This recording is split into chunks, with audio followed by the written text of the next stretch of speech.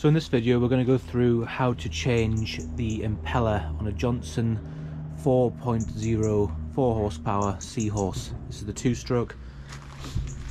This is the one with the neutral and forward.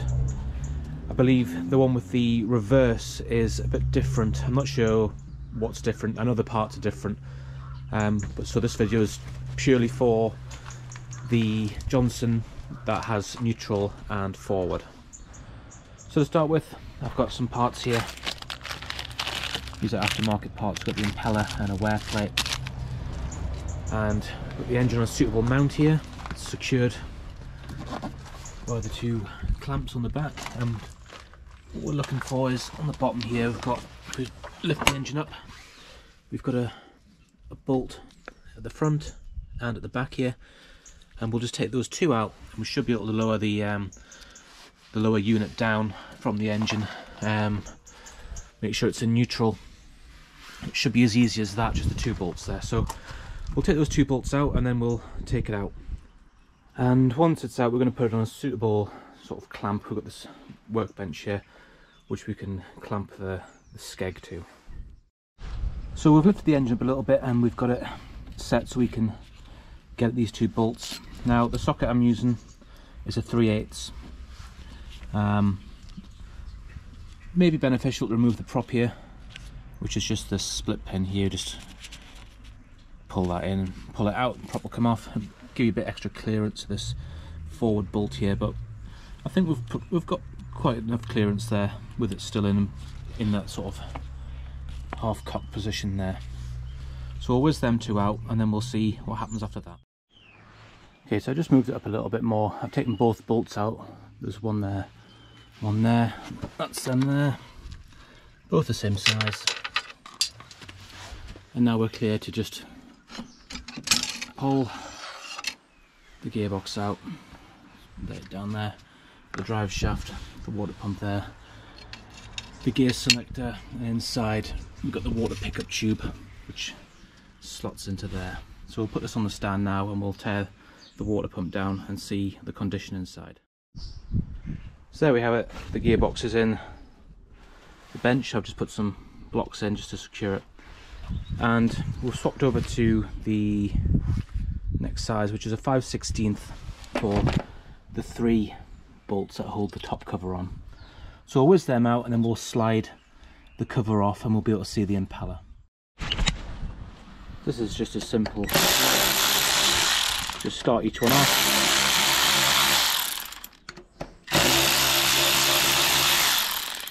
It's a tiny pump, so the bolts aren't torqued massively. Likewise, they don't need to be tightened to the death when you reinstall these. There's only three of them, they're only small. So that's it, ready to come off now.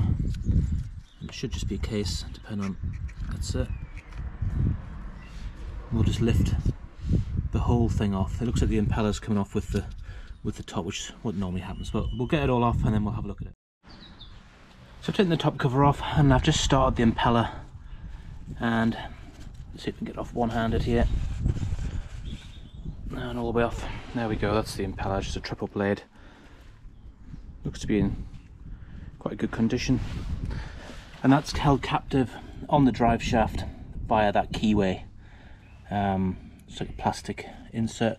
We'll also be changing this bottom wear plate because that's what the impeller runs on. In the cover we also have a the top cover wear plate. That's in good condition. There's no there's no major sort of wear or grooves forming in that, so we'll reuse that. The bottom one, likewise, it's it looks pretty pretty good, but I've got a new one, so we'll just change that and the impeller, and then it's a case of reinstalling it all. So I got the impeller off like you saw there. We'll just try and take this wear plate off. Hopefully it'll come off. One piece there, yep, straight up. Remembering to keep the orientation, just drop the cam on the floor there and pick that back up. It's a good idea as well, just to just to inspect the cam that it's not um, starting to get like a profile cut into it. Sometimes the, the impellers they can sort of almost jump and ride over the cam, which this one's looking all right. Normally you get a new one in the kit, but let's say this is an aftermarket aftermarket part, so we don't get one in this kit. When you take it off, always sort of put it down in the position it came off in. Just when you put it back in, you know the exact orientation. You don't want to put it in the wrong way around. This one's pretty self-explanatory because it's only got three holes, but some of them are sort of square and they'll go in in any direction. On the top here, we're just checking. There's no gasket on there, and there's no gasket underneath, so I don't. Oh, there is a gasket on there, but it's it's in good condition there. So just taking a, a good look. Everything looks to be in the right, place, so we'll drop this new plate on, just like that. Like I say, this isn't like a, a massively in-depth how-to video of, you know, measuring things and this and that. This is literally just a purely how to change the impeller on the Johnson 4 horsepower two-stroke engine. Like I say, I think the one with the reverse is slightly different. I'm not sure what's different with it, but the parts are different online. So this is purely for the one that has neutral and forward. And now we have the impeller to put in. So fairly easy. Just start putting the impeller down. We get to this point here where the keyway goes. We can just put the keyway in the path and push the impeller over the top of the keyway. It's a little bit fiddly, but it'll go on and then it just sits flush. So there we go, I've just put the, the wear plate on the impeller with the keyway. It's all lined up and meshed. Now it's just a case of reinstalling the top cover and the three bolts that go with it. Just take the top cover there and we just press it straight over the top. Something's given the the drive shaft a bit of a turn and then we can put each bolt in and turn.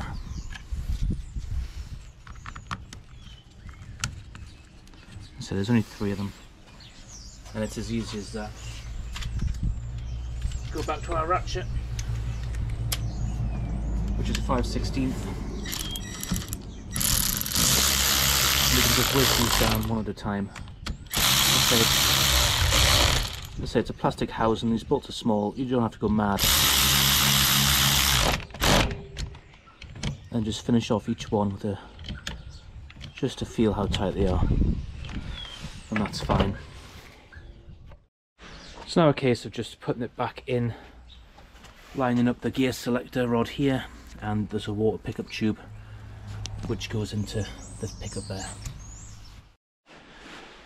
Now I find on this engine it's it's easier said than done putting it back in, but it will go in. You just got to make sure that your gear selector's lined up, the pickup water pickup tube, which is just in there, and the drive shaft line up with the power head, and it'll all go in there. You've got obviously the two bolts that go in there, and it's a fairly straightforward job.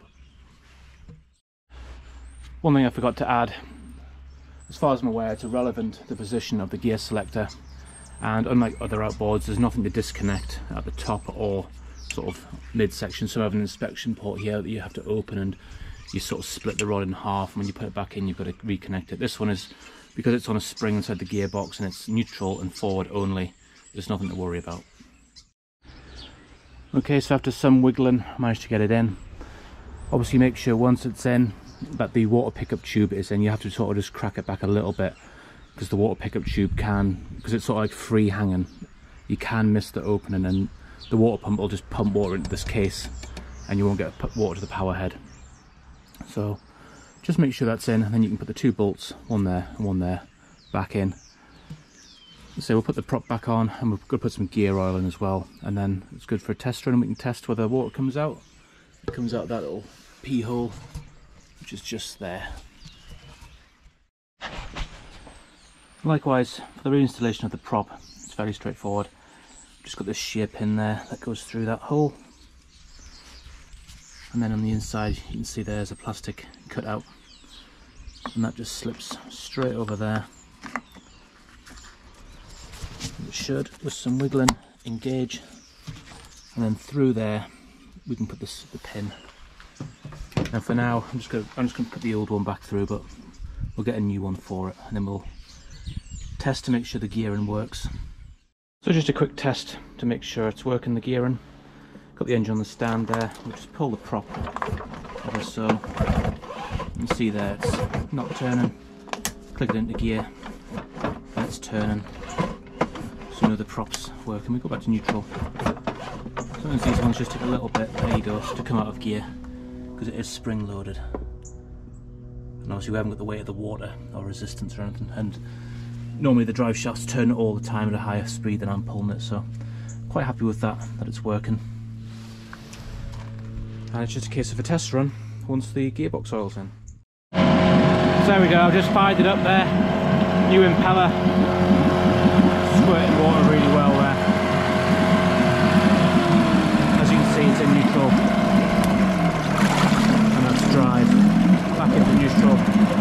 So obviously we'll fix the gearbox issue as well. Not seeing massive amounts of oil on there. So I'm confident there's no oil leak on the, on the seals. So obviously that'll on the top. And it's running quite nicely. So I'm quite happy with that. So we'll just stop the engine there. I suppose that concludes the video of how to change the water pump on a Johnson 4 horsepower two stroke. Obviously we had a bit of a sidetrack there, we had to take the gearbox apart but nothing we can't manage and hopefully if you have the same problem, you do that inadvertently, then you can put it back together as well. So I hope you've enjoyed that. If you give a, a like and a subscribe if you haven't already, it'd be much appreciated and stay tuned for the next one.